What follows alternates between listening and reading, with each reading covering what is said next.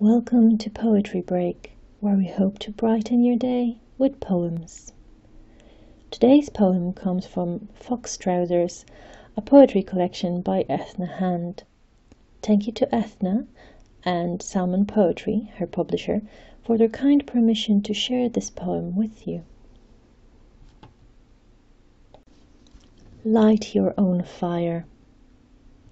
The prefrontal cortex, like a conductor waving a baton, urges our brain to hunt for that lost name or date while we drive cars or make the dinner. Later, we remember as clearly as July and can't believe we ever forgot it.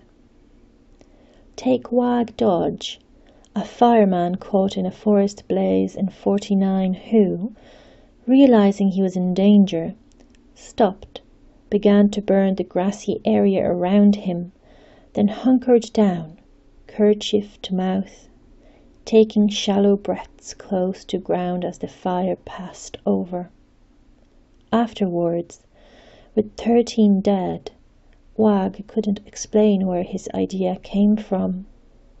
He had no memory of learning that trick, but somewhere in his head a conductor was wildly waving. Thank you for listening. Please stay safe and keep well.